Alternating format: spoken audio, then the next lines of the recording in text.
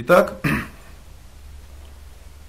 вожделение является причиной того, что живое существо попадает на сковороду адской планеты. Раньше люди думали, что это шутка. Когда сковорода? Нет. Есть просто планета, которая похожа очень на это. Это не то, что такая сковорода, как вот как Тефаль, там раз, бум упал, просто большая сковорода с тефлоновым покрытием. Жаришься, масла не надо. Нет. Планета так сравнивается как со сковородкой. Как наша Земля сравнивается с диском, так и та планета сравнивается со сковородой. И разные погодные условия там существуют. Там все тройственные страдания увеличены во столько раз, что человек 24 часа в сутки, ни секунды ему не дают отдохнуть от страданий. Ни секунды. Итак, когда живое существо сбрасывает семя, особенно мужчина, у женщин регулируемая потенция. Поэтому женщина сколько угодно может делать это. И почти не страдает. У нее сбалансированная система. А у мужчины теряется все. Чем больше мужчина теряет семени, тем он становится тупее. Он теряет оджас. Есть теджас, знаете, да? Когда аскезами, сила определенная. Это когда правило ограничения, когда человек не сбрасывает семя, не наслаждается, ограничивается. Появляется теджас, решимость. В словах появляется энергия. Человек говорит, человек сразу принимает. Убежденность в поступках, решимость. Ум четко концентрируется.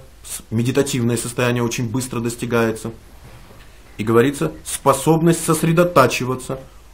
Благодаря этому память усиливается. И так далее. И говорится, рассеивается фантазии и иллюзии.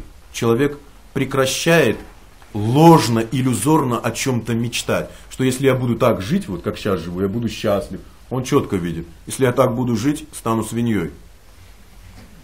Он четко видит. А когда человек теряет отжиз, теряет семя, теряет отжиз, наслаждает чувства, то этот вид потенции, теряющийся, говорится, рассеянность в уме, память ослабевает, все, что говорит человек, ни на кого не действует, болтун какой-то. Он начинает иллюзорно мыслить, то есть фантазии появляются. Он думает, что я буду вот так действовать, буду счастливым и так далее. Лживость проявляется и так далее, и так далее. Все виды разных проблем возникают. И говорится, человек, который теряет отжиз, он не способен к обучению. Вот почему маленьких детей в гурукулах строго ограничивали. Никаких. И девочек отделяли от мальчиков особенно когда они достигали полового созревания. Также и у нас в храмах женщины, есть женская половина, есть мужская, женщины там немножко сзади стоят, мужчины немножко впереди, иногда рядом стоят. Но важно это знать. Это знать. Почему? Потому что чувства очень быстро возбуждаются, особенно у человека, у которого слабая вера. Поэтому, когда человек приобретает очень хорошую веру и может контролировать свои чувства, он может стать семейным человеком. И тогда семейная жизнь будет помощью ему. Как крокодил очень силен, силен в воде, слон на суше, орел в воздухе, так и человек должен занять тот ашем обезьяна на дереве. Брось обезьяну в воду, она все беззащитная. Вытащи крокодила на берег, и он все беззащитен. Засунь слона в воду, ганджендра, все, проблема. И также эти ашрамы, надо занять то положение человеку, где он может быть сильным в исполнении служения Богу, Гуру и Кришне. И если для человека греха с ашрам является тем положением, в котором он может быть силен в служении Гуру Кришны, он должен стать семейным человеком после обучения. Если он чувствует себя более сильным, как брахмачари, он должен остаться брахмачари. Так живое существо определяет свое положение. Почему? Потому что четко сформулирована цель жизни. Сформулирована. Когда человек может сформулировать цель жизни? Только тогда, когда он прошел обучение. То есть был обязательно несколько лет брамачарием. Никаких половых отношений. И когда человек прекращает на какое-то время даже, вот мы сейчас видим, люди приходят уже с опытом греховной жизни, они должны ограничиться. Как минимум 3-5 лет, а лучше 50. И чем человек меньше теряет семя, мужчина, тем сильнее становится его способность к концентрации, к медитации. Тем сильнее память, тем лучше он правильнее действует, решительно, энергично. Нет такой все время спит на лекциях, знаете, сонливый, все время никуда не может приходить, все время чувственное наслаждение, комфорт все время. Это все сексуальные проблемы. И говорится, хороший ученик, хороший брамачари, который обучился контролировать чувства, можем видеть человек, когда правильно соприкасается. Как он обучился, как узнать? Он может соприкасаться уже с объектами, и проблем нет. А пока он не обучен, он как только соприкоснется, раз у него проблемы. Сразу мгновенно. Только соприкоснется, проблемы. Значит, он должен ограничиться. Он должен понять сам. Это сознание. Человек должен понять точно. Как только вот немножко пообщаюсь с матаджами, все у меня. Сплю потом, все время хочется наслаждаться, с джипа начинаю рассматривать. Ой, прямо ви- видео хочется смотреть, ой, что-то так, ой, ну прям хочется общаться с кармическими людьми, ой, ой. Да, преданные сразу такие не очень, не очень культурные становятся. Даже корми более культурные, говорят такой человек. Такой говорит так. Знаете, он наслаждается. Он попал в ловушку вожделения. Все эти фразы, одни и те же, только говорят о том, что человек не способен контролировать свою сексуальную потенцию. А чем она контролируется, мы еще раз говорим? Верой. А вера выражается в служении Богу. По вере вашей и будет вам. Насколько человек предается мне, настолько в соответствии с этим я награждаю его. Итак, мы прочитаем дальше. Во второй песне Шримад Бхагаватам. Комментарий Шилпрупады. 12 главы. Совершенствуясь в бхакти-йоге, человек постепенно избавляется от всего ненужного. Первый шаг на этом пути – медитация на лотосные стопы личности Бога которая возводит медитирующего на стадию анартха невриты.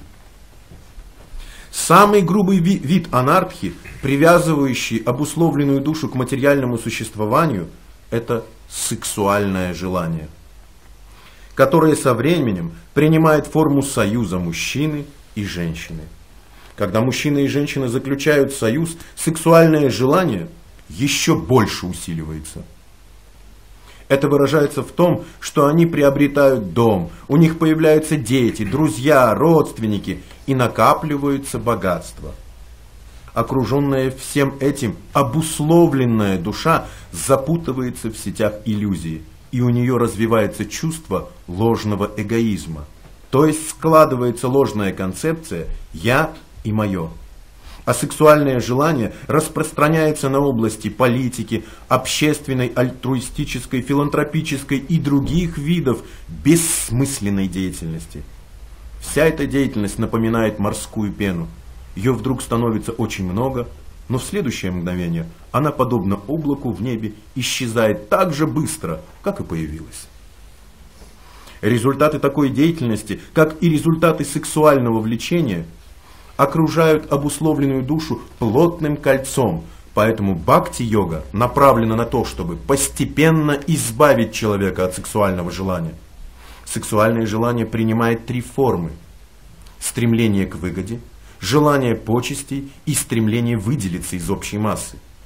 Обусловленные души одержимы этими проявлениями сексуального влечения. И когда а, и каждый может сам судить, сколько он свободен от подобного рода материальных желаний, основанных в первую очередь на сексуальном влечении.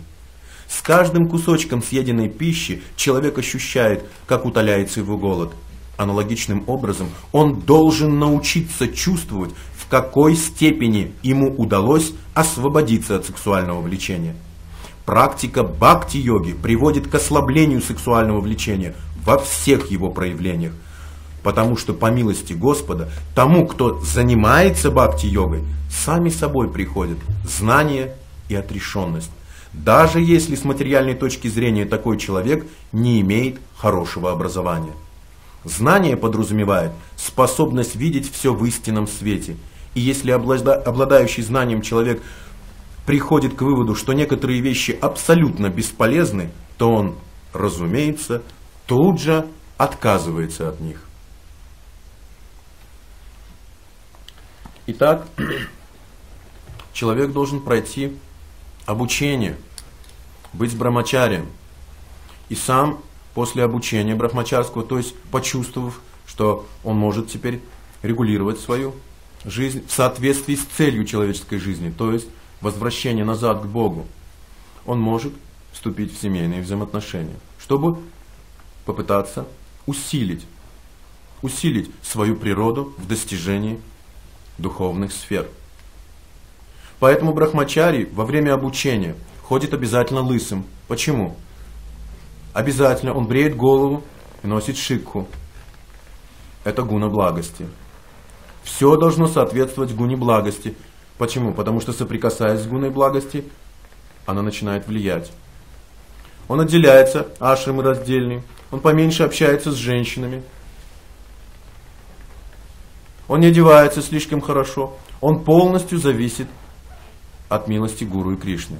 У него нету никаких денег, у него нету 300 кассет, крутых плееров, у него нету красивой такой суперовой одежды. Он очень прост. Очень прост. Брамачари живет очень просто.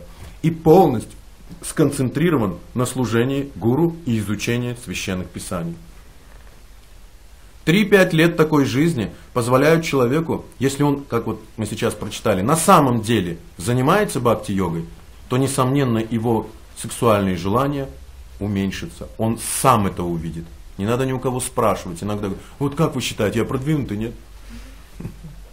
Человек сам может определить по своей похоти. Надо быть просто честным, правдивым по отношению к себе.